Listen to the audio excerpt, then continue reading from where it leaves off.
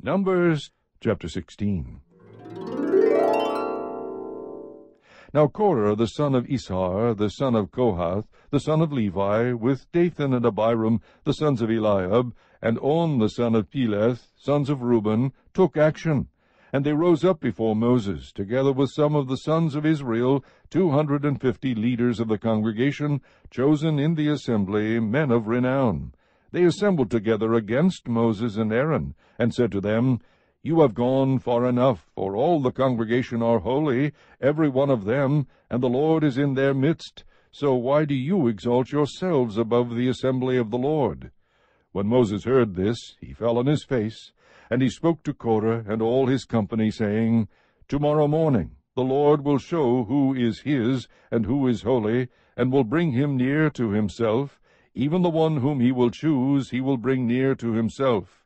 Do this, take censers for yourselves, Korah and all your company, and put fire in them, and lay incense upon them in the presence of the Lord tomorrow. And the man whom the Lord chooses shall be the one who is holy. You have gone far enough, you sons of Levi. Then Moses said to Korah, Hear now, you sons of Levi, is it not enough for you that the God of Israel has separated you from the rest of the congregation of Israel, to bring you near to himself, to do the service of the tabernacle of the Lord, and to stand before the congregation to minister to them, and that he has brought you near, Korah, and all your brothers, sons of Levi, with you? And are you seeking for the priesthood also? Therefore you and all your company are gathered together against the Lord, but as for Aaron, who is he that you grumble against him? Then Moses sent a summons to Dathan and Abiram, the sons of Eliab, but they said, We will not come up. Is it not enough that you have brought us up out of a land flowing with milk and honey, to have us die in the wilderness? But you would also lord it over us. Indeed, you have not brought us into a land flowing with milk and honey, nor have you given us an inheritance of fields and vineyards. Would you put out the eyes of these men?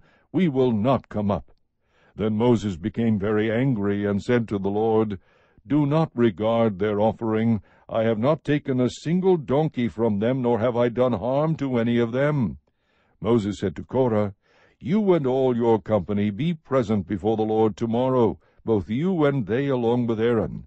Each of you take his fire pan, and put incense on it, and each of you bring his censer before the Lord, two hundred and fifty fire pans. Also you and Aaron shall each bring his fire pan. So they each took his own censer, and put fire on it, and laid incense on it, and they stood at the doorway of the tent of meeting with Moses and Aaron. Thus Korah assembled all the congregation against them at the doorway of the tent of meeting. And the glory of the Lord appeared to all the congregation. Then the Lord spoke to Moses and Aaron, saying, Separate yourselves from among this congregation, that I may consume them instantly. But they fell on their faces and said, O God, God of the spirits of all flesh, when one man sins, will you be angry with the entire congregation? Then the Lord spoke to Moses, saying, Speak to the congregation, saying, Get back from around the dwellings of Korah, Dathan, and Abiram. Then Moses arose and went to Dathan and Abiram with the elders of Israel following him, and he spoke to the congregation, saying, Depart now from the tents of these wicked men, and touch nothing that belongs to them, or you will be swept away in all their sin. So they got back from around the dwellings of Korah, Dathan, and Abiram, and Dathan and Abiram came out and stood at the doorway of their tents, along with their wives and their sons and their little ones. Moses said, by this you shall know that the Lord has sent me to do all these deeds, for this is not my doing. If these men die the death of all men, or if they suffer the fate of all men, then the Lord has not sent me. But if the Lord brings about an entirely new thing, and the ground opens its mouth and swallows them up with all that is theirs, and they descend alive into Sheol, then you will understand that these men have spurned the Lord. As he finished speaking all these words, the ground that was under them split open, and the earth opened its mouth and swallowed them up and their households, and all the men who belonged to Korah with their possessions. So they and all that belonged to them went down alive to Sheol, and the earth closed over them, and they perished from the midst of the assembly. All Israel who were around them fled at their outcry, for they said, The earth may swallow us up. Fire also came forth from the Lord, and consumed the two hundred and fifty men who were offering the incense. Then the Lord spoke to Moses, saying, Say to Eleazar the son of Aaron the priest, that he shall take up the censers out of the midst of the blaze, for they are holy, and you scatter the burning coals abroad. As for the censers of these men who have sinned at the cost of their lives, let them be made into hammered sheets for a plating of the altar, since they did present them before the Lord, and they are holy, and they shall be for a sign to the sons of Israel.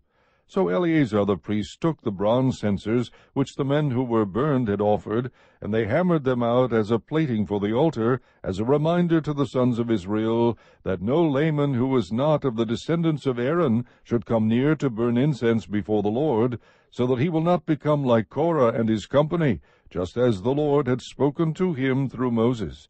But on the next day all the congregation of the sons of Israel grumbled against Moses and Aaron, saying, you are the ones who have caused the death of the Lord's people. It came about, however, when the congregation had assembled against Moses and Aaron, that they turned toward the tent of meeting.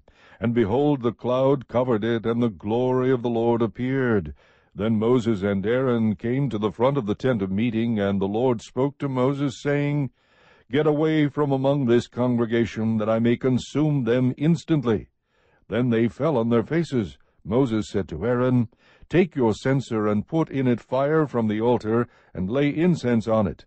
Then bring it quickly to the congregation, and make atonement for them, for wrath has gone forth from the Lord, the plague has begun. Then Aaron took it as Moses had spoken, and ran into the midst of the assembly, for behold, the plague had begun among the people. So he put on the incense, and made atonement for the people. He took his stand between the dead and the living, so that the plague was checked. But those who died by the plague were fourteen thousand seven hundred, besides those who died on account of Korah. Then Aaron returned to Moses at the doorway of the tent of meeting, for the plague had been checked. Chapter 17 Then the Lord spoke to Moses, saying, Speak to the sons of Israel, and get from them a rod for each father's household, twelve rods from all their leaders according to their fathers' households. You shall write each name on his rod, and write Aaron's name on the rod of Levi, for there is one rod for the head of each of their fathers' households. You shall then deposit them in the tent of meeting, in front of the testimony where I meet with you. It will come about that the rod of the man whom I choose will sprout. Thus I will lessen from upon myself the grumbles of the sons of Israel, who are grumbling against you. Moses therefore spoke to the sons of Israel, and all their leaders gave him a rod apiece, for each leader according to their fathers' households, twelve rods, with the rod of Aaron among their rods. So Moses deposited the rods before the Lord in the tent of the testimony.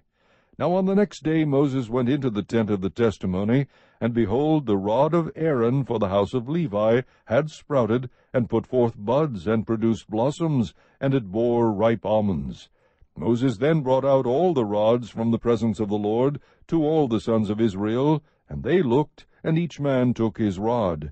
But the Lord said to Moses, Put back the rod of Aaron before the testimony, to be kept as a sign against the rebels, that you may put an end to their grumblings against me, so that they will not die. Thus Moses did just as the Lord had commanded him, so he did. Then the sons of Israel spoke to Moses, saying, Behold, we perish, we are dying, we are all dying.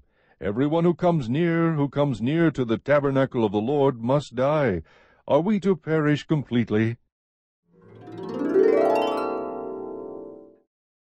Chapter 18 So the Lord said to Aaron, You and your sons and your father's household with you shall bear the guilt in connection with the sanctuary, and you and your sons with you shall bear the guilt in connection with your priesthood. But bring with you also your brothers, the tribe of Levi, the tribe of your father, that they may be joined with you and serve you, while you and your sons with you are before the tent of the testimony. And they shall thus attend to your obligation, and the obligation of all the tent, but they shall not come near to the furnishings of the sanctuary and the altar, or both they and you will die. They shall be joined with you and attend to the obligations of the tent of meeting, for all the service of the tent. But an outsider may not come near you. So you shall attend to the obligations of the sanctuary and the obligations of the altar, so that there will no longer be wrath on the sons of Israel. Behold, I myself have taken your fellow Levites from among the sons of Israel. They are a gift to you, dedicated to the Lord, to perform the service for the tent of meeting. But you and your sons with you shall attend to your priesthood for everything concerning the altar and inside the veil, and you are to perform service. I am giving you the priesthood as a bestowed service, but the outsider who comes near shall be put to death. Then the Lord spoke to Aaron, now behold, I myself have given you charge of my offerings, even all the holy gifts of the sons of Israel I have given them to you as a portion, and to your sons as a perpetual allotment. This shall be yours from the most holy gifts reserved from the fire, every offering of theirs, even every grain offering, and every sin offering, and every guilt offering, which they shall render to me, shall be most holy for you and for your sons. As the most holy gifts, you shall eat it, Every male shall eat it, it shall be holy to you. This also is yours, the offering of their gift, even all the wave offerings of the sons of Israel. I have given them to you and to your sons and daughters with you as a perpetual allotment. Every one of your household who is clean may eat it, all the best of the fresh oil, and all the best of the fresh wine and of the grain, the first fruits of those which they give to the Lord, I give them to you. The first ripe fruits of all that is in their land, which they bring to the Lord, shall be yours. Every one of your household who is clean may eat it. Every devoted thing in Israel shall be yours. Every first issue of the womb of all flesh, whether man or animal, which they offer to the Lord, shall be yours. Nevertheless, the firstborn of man you shall surely redeem, and the firstborn of unclean animals you shall redeem. As to their redemption price, from a month old you shall redeem them by your valuation, five shekels in silver, according to the shekel of the sanctuary, which is twenty gerahs. But the firstborn of an ox, or the firstborn of a sheep, or the firstborn of a goat, you shall not redeem. They are holy. You shall sprinkle their blood on the altar, and shall offer up their fat in smoke as an offering by fire, for a soothing aroma to the Lord. Their meat shall be yours, it shall be yours like the breast of a wave offering, and like the right thigh. All the offerings of the holy gifts, which the sons of Israel offer to the Lord, I have given to you and your sons and your daughters with you, as a perpetual allotment. It is an everlasting covenant of salt before the Lord to you and your descendants with you. Then the Lord said to Aaron, You shall have no inheritance in their land, nor own any portion among them, I am your portion and your inheritance among the sons of Israel. To the sons of Levi, behold, I have given all the tithe in Israel for an inheritance, in return for their service which they perform, the service of the tent of meeting. The sons of Israel shall not come near the tent of meeting again, or they will bear sin and die. Only the Levites shall perform the service of the tent of meeting, and they shall bear their iniquity, it shall be a perpetual statute throughout your generations, and among the sons of Israel they shall have no inheritance. For the tithe of the sons of Israel, which they offer as an offering to the Lord, I have given to the Levites for an inheritance. Therefore I have said concerning them, They shall have no inheritance among the sons of Israel. Then the Lord spoke to Moses, saying, Moreover you shall speak to the Levites, and say to them, when you take from the sons of Israel the tithe which I have given you from them for your inheritance, then you shall present an offering from it to the Lord, a tithe of the tithe. Your offering shall be reckoned to you as the grain from the threshing floor, or the full produce from the wine vat. So you shall also present an offering to the Lord from your tithes, which you receive from the sons of Israel, and from it you shall give the Lord's offering to Aaron the priest. Out of all your gifts you shall present every offering due to the Lord, from all the best of them, the sacred part from them. You shall say to them, When you have offered from it the best of it, then the rest shall be reckoned to the Levites as the product of the threshing floor, and as the product of the wine vat. You may eat it anywhere, you and your households, for it is your compensation in return for your service in the tent of meeting. You will bear no sin by reason of it when you have offered the best of it. But you shall not profane the sacred gifts of the sons of Israel, or you will die.